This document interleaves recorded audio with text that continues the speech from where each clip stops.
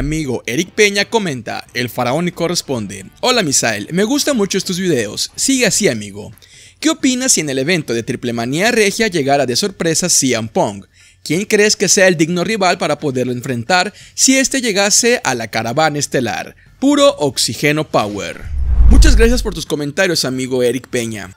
Recuerda que la idea de que CM Pong ingresara a la AAA no es tan descabellada puesto que hace unos meses debido a la interacción de unos tweets, CM Punk dio a conocer a través de estos que le gustaría tener algún tipo de encuentro en la empresa AAA, sea en la modalidad que sea. Y uno de los personajes a los cuales se podría estar enfrentando es a los Lucha Brothers, ya que estos replicaron estos tweets en sus redes sociales. Así que el panorama es muy extenso, pero definitivamente ver a CM Punk en la AAA sería algo que definitivamente muchos aficionados están esperando. Paul pregunta, el faraón responde, cuéntame, ¿cómo que hay tres Octagon Junior? ¿Cuál fue a Exatlón? Soy tu fan puro Oxígeno Power. Sé que es algo complicado amigos, pero bueno, la realidad es la siguiente. El primero fue Samurai del Sol, el segundo fue Flamita, y el tercero y actual Octagon Junior es el que antes conociéramos en este deporte como Golden Magic. Ahora, fuera de la empresa AAA y en el ambiente independiente, Octagon le da el nombre al gladiador que conociéramos en este deporte bajo el mote de El Hijo de Octagon, y este es el que tú pudiste apreciar en el Hexatlón.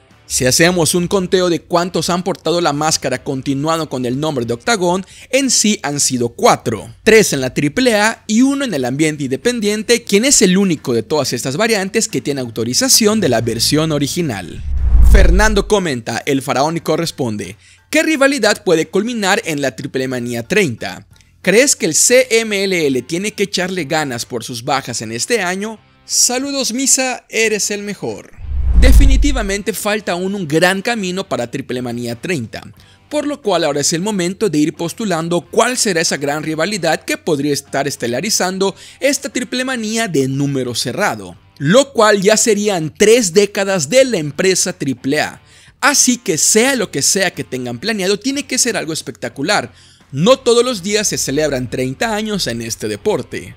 Así que hay que estar al pendiente de las sorpresas que tenga AAA. Y referente al Consejo Mundial, creo que aquí lo que ha estado fallando es la falta de historias y proyección para algunos personajes. Pero me imagino que con el paso del tiempo iremos conociendo nuevos elementos que ojalá no sean refritos como últimamente ambas empresas han estado utilizando. Horse comenta, Hola Misa, ¿qué opinas acerca de que el megacampeonato quedará vacante debido a las condiciones de Kenny Omega? ¿Será que solo la naturaleza pueda vencerlo?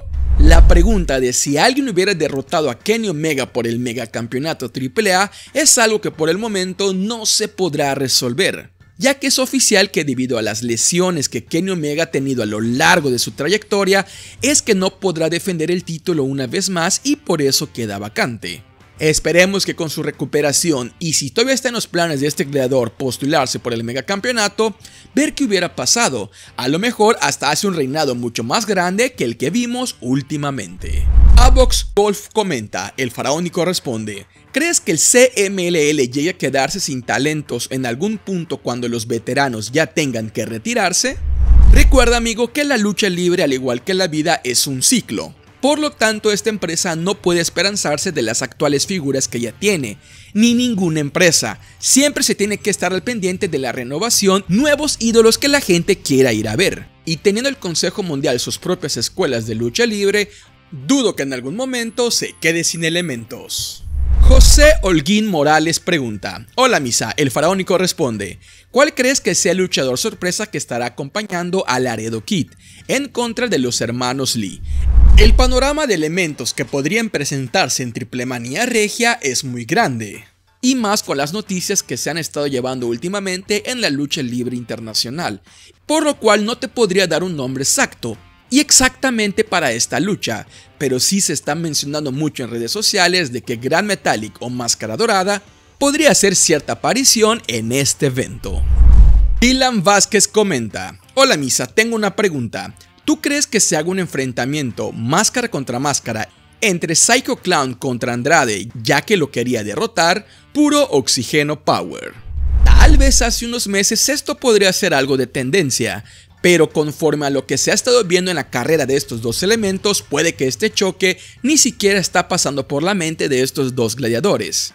Pero como siempre suelo comentar en los diferentes videos, recuerden que en la lucha libre todo puede suceder.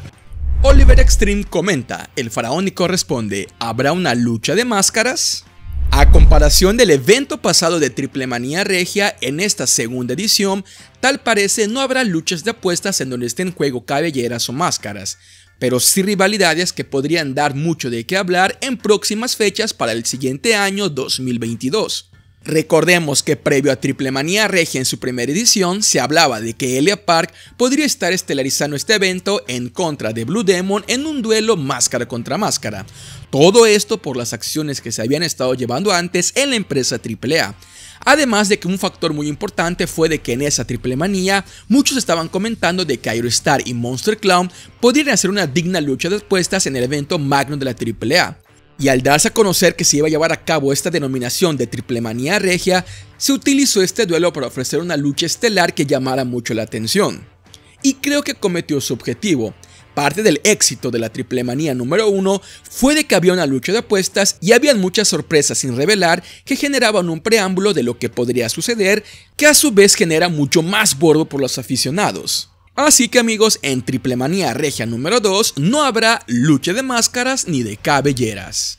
Y mi amigo Miguel Ángel Vélez comenta, el faraónico responde, ¿quién tuvo más máscaras ganadas, el Santo Poblana Estrella Blanca o Super Muñeco?